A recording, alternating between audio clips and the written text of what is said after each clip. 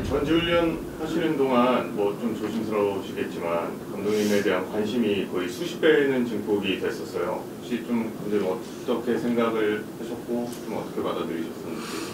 뭐 저는 제가 그때 말씀드린 것 같이 저는 개인적으로는 전혀 어, 아는 게 없었고요. 뭐 물론 이제 어, 제 이름이 나오고 하고 하는 거에 대해서는 뭐 그거는 음, 제 의도는 안, 아니었지만은 하여튼 그 기간은 굉장히 저는 좀 음, 힘들었어요.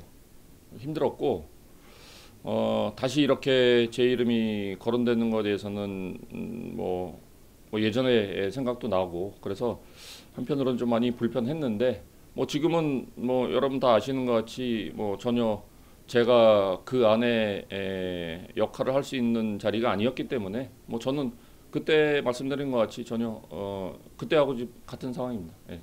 뭐 울산 팬들 오늘 트럭도 이렇게 피켓 들고 돌아다니면서 감독님을 지킨다라는 뜻의 그런 시위를 하고 있는데 그것도 감독님으로서 좀 여러 가지 생각이 드실 것 같거든요.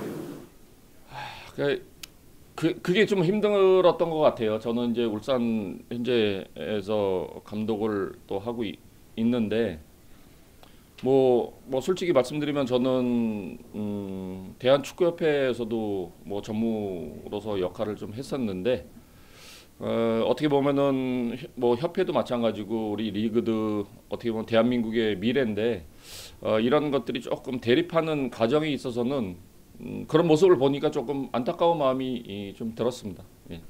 예. 일단 저희 감독님인데 저희도 이제 시즌을 시작하는데 데려간다는 게 말이 나오는 것 자체로 후보로 언급이 됐다는 것 자체로 많이 속상하고 축구협회가 우리나라 자국의 리그를 너무 신경 쓰지 않는 것 같아서 많이 속상했던 것 같습니다.